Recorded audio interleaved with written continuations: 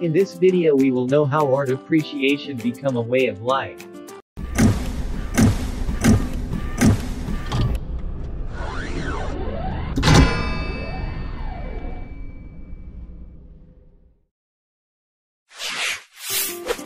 Takes an artist to make art. One may perceive beauty on a daily basis. However, not every beautiful thing that can be seen or experienced may truly be called a work of art. Art is a product of man's creativity, imagination, and expression.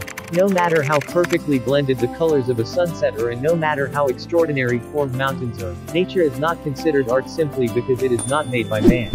Not even photographs or sketches of nature, though captured or drawn by man, are works of art, but mere recordings of beauty in nature. Artwork may be inspired by nature or other works of art, but an artist invents his forms and patterns due to what he perceives as beautiful and incorporates them in creating his masterpiece. Jean-Paul Sartre, a famous French philosopher of the 20th century, described the role of art as a creative work that depicts the world in a completely different light and perspective. And the source is due to human freedom. Each artwork beholds the beauty of its kind, the kind that the artist sees and wants the viewers to perceive. More often than not, people are blind to this beauty and only those who have developed a fine sense of appreciation can experience and see the art the same way the artist did. Because of this, numerous artworks go unnoticed, artists are not given enough credit, and they miss opportunities. It sometimes takes a lifetime before their contribution to the development of art is recognized. Hence, refining one's ability to appreciate art allows him to deeply understand the purpose of artwork and recognize the beauty it possesses. In cultivating an appreciation of art, one should also exercise and develop his taste for things that are fine and beautiful. This allows individuals to make intelligent choices and decisions in acquiring necessities and luxuries. Knowing what gives better value for time or money while taking into consideration the aesthetic and practical value. This continuous demand for aesthetically valuable things influences the development and evolution of art in its forms. Frequenting museums, art galleries, performing arts theaters, concert halls, or even malls that display art exhibitions that are free in admission during leisure time will not only develop an understanding of the art but will also serve as a rewarding experience. Learning to appreciate art, no matter what vocation or profession you have, will lead to a fuller and more meaningful life. What is the role of creativity in art making? Creativity requires thinking outside the box. It is often used to solve problems that have never occurred before, conflate function and style, and simply make life a more unique and enjoyable experience. In art, creativity is what sets apart one artwork from another.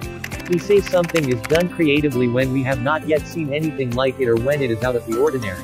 A creative artist does not simply copy or imitate another artist's work. He does not imitate the lines, flaws, colors, and patterns in recreating nature. He embraces originality, puts his own flavor into his work, and calls it his own creative piece. Yet, being creative nowadays can be quite challenging.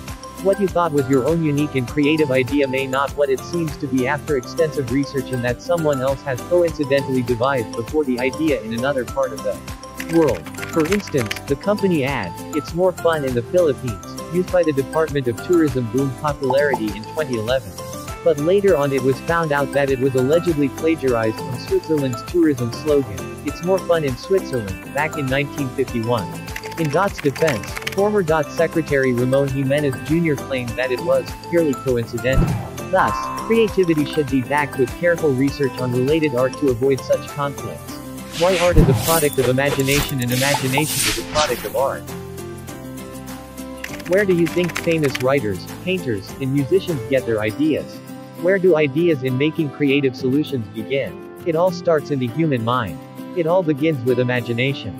German physicist Albert Einstein who had made significant and major contributions in science and humanity demonstrated that knowledge is actually derived from imagination. He emphasized this idea through his words. Imagination is more important than knowledge. For knowledge is limited to all we now know and understand, while imagination embraces the entire world, and all there ever will be to know and understand. Imagination is not constrained by the walls of the norm but goes beyond that. That is why people rely on curiosity and imagination for advancement. Through imagination, one is able to craft something bold, something new, and something better in the hopes of creating something that will stimulate change. Imagination allows for endless possibilities. In an artist's mind sits a vast gallery of artworks. An artwork does not need to be a real thing but can be something that is imaginary. Take for example a musician who thinks of a tune in his head. The making of this tune in his head makes it an imaginary tune, an imaginary creation, an imaginary art. It remains imaginary until he hums, sings, or writes down the notes of the tune on paper. However, something imaginary does not necessarily mean it cannot be called art. Artists use their imagination that gives birth to reality through creation. In the same way that imagination produces art, art also inspires imagination. Imagine being in an empty room surrounded by blank, white walls, and floor. Would you be inspired to work in such a place? Often, you'll find coffee shops, restaurants, with paintings hung or sculptures and other pieces of art placed around the room to add beauty to the surroundings. This craving and desire to be surrounded by beautiful things dates back to our early ancestors. Cave walls are surrounded by drawings and paintings of animals they hunted. Wild boars, reindeers, and bison. Clays were molded and stones were carved into forms that resemble men and women. Burial jars were created with intricate designs on them. These creative pieces were made not only because they were functional to man, but also because beauty gave them joy. Why art is expression. There may have been times when you felt something was going on within you. You try to explain it but you do not know how. You may only be conscious about feeling this sort of excitement, fear, or agitation, but you know that just one word is not enough to describe the nature of what you truly feel. Finally, you try to release yourself from this tormenting and disabling state by doing something, which is called expressing oneself. Suppose this feeling is excitement. It is frustrating to contain such feeling, so you relieve it by expressing through shouting or leaping in excitement. An emotion will remain unknown to a man until he expresses it. Robin George Collingwood, an English philosopher who is best known for his work in aesthetics, explicated in his publication The Principles of Art in 1938 that what an artist does to emotion is not to induce it, but express it. Through expression, he can explore his own emotions, and at the same time, create something beautiful out of them. Collingwood further illustrated that expressing emotions is something different from describing emotions. In his example, explicitly saying, I am angry, is not an expression of emotion, but a mere description.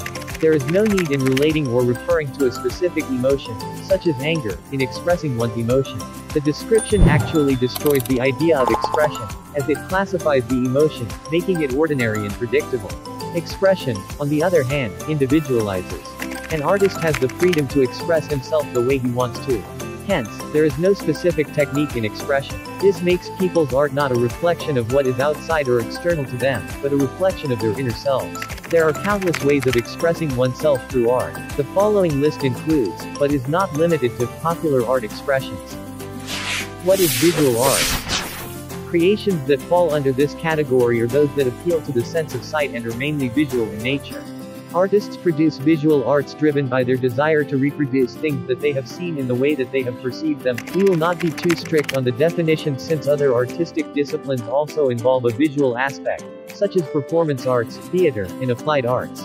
Visual arts is the kind of art form that the population is most likely more exposed to. But its variations are so diverse they range from sculptures that you see in art galleries to the last movie you saw. Some mediums of visual arts include paintings, drawing, letterings, printing, sculptures, digital imaging, and more. What is film? The film refers to the art of putting together successions of still images in order to create an illusion of movement. Filming focuses on its aesthetic, cultural, and social value and is considered as both an art and an industry. Films can be created by using one or a combination of some or all of these techniques. Motion picture camera also known as movie camera animation techniques, computer-generated imagery, and more.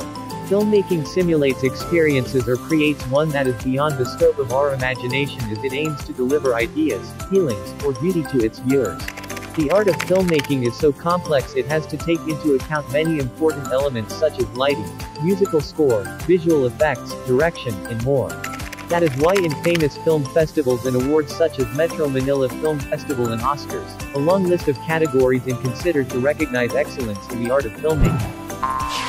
What is performance art? Performance art is alive and the artist's medium is mainly the human body which he or she uses to perform, but also employs other kinds of art such as visual art, props, or sound. It usually consists of four important elements. Time, where the performance took place, the performer's or performer's body, and a relationship between the audience and the performer.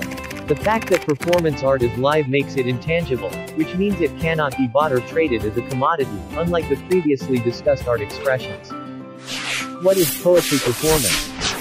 Poetry is an art form where the artist expresses his emotions not by using paint, charcoal, or camera, but expresses them through words. These words are carefully selected to exhibit clarity and beauty and to stimulate strong emotions of joy, anger, love, sorrow, and the list goes on. It uses a word's emotional, musical, and spatial values that go beyond its literal meaning to narrate, emphasize, argue, or convince. These words, combined with movements, tone, volume, and intensity of the delivery, add to the artistic value of the poem. Some poets even make poems out of their emotions picked up from other works of art, which in turn produce another work of art through poetry. What is architecture? As discussed, art is the pursuit and creation of beautiful things while architecture is the making of beautiful buildings. However, not all buildings are beautiful. Some buildings only embody the functionality they need, but the structure, lines, forms, and colors are not beautifully expressed, thus, not all buildings can be considered architecture. Take, for example, the Grand Theatre de Bordeaux where the functionality of the theatre remains, but the striking balance of the lines, colors, and shapes completes the masterpiece. Buildings should embody these three important elements plan, construction, and design if they wish to merit the title architecture. What is dance? Dance is a series of movements that follow the rhythm of the musical accompaniment. It has been an age-old debate whether dance can really be considered an art form, but here we primarily describe dance as a form of expression. Dancing is a creative form that allows people to freely express themselves. It has no rules. You may say that choreography does not allow this, but in art expression, dancers are not confined to set steps and rules but are free to create and invent their own movements as long as they deem them graceful and beautiful. What is literary art? Artists who practice literary arts use words not paint, musical instruments, or chisels to express themselves and communicate emotions to the readers. However, simply becoming a writer does not make one a literary artist. Simply constructing a succession of sentences in a meaningful manner is not literary art. Literary art goes beyond the usual professional, academic, journalistic, and other technical forms of writing. It focuses on writing using a unique style, not following a specific format or norm. It may include both fiction and nonfiction such as novels, biographies, and poems. Examples of famous literary artists and their works include The Little Prince by Antoine de Saint-Exupéry and Romeo and Juliet by William Shakespeare. What is theater? Theater uses live performers to present accounts or imaginary events before a live audience. Theater art performances usually follow a script, though they should not be confused with literary arts. Much like in filmmaking, the theater also considers several elements such as acting, gesture, lighting, sound effects, musical score, scenery, and props. The combination of these elements is what gives the strongest impression on the audience and the script thus becomes a minor element. Similar to performance art, since the theater is also a live performance, the participation of the viewer is an important element in theater arts. Some genres of the theater include drama, musical, tragedy, comedy, and improvisation. What is applied arts? Applied arts is incorporating elements of style and design to everyday items with the aim of increasing their aesthetical value. Artists in this field bring beauty, charm, and comfort into many things that are usual in everyday life. Industrial design, interior design, fashion design, and graphic design are considered applied arts. Applied is often compared to fine arts where the latter is chiefly concerned on aesthetic value. Through exploration and expression of ideas, consideration of the needs, and careful choice of materials and techniques, artists are able to combine functionality and style.